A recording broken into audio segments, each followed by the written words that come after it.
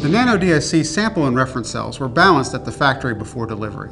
However, this balance may shift over time, causing scan baselines to shift. In this TA Tech tip, we will demonstrate how to perform a new balance scan on the Nano DSC. Before performing a new balance scan, be sure that your Nano DSC is thoroughly clean. Load the reference and sample cells with degassed deionized water. For more information on properly loading the Nano DSC, please refer to the TA Tech tip entitled Nano DSC Sample Load. Install the pressure handle and click Pressurize.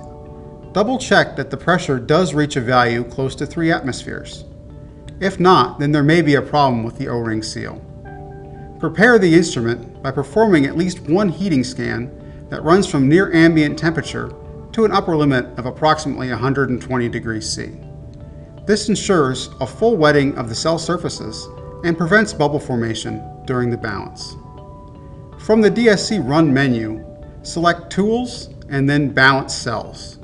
The calorimeter performs a 0 to 125 degrees C scan, both up and down. After the balance scan is complete, save the balance scan. In this TA Tech tip, we demonstrated how and why to perform a balance scan on your Nano DSC.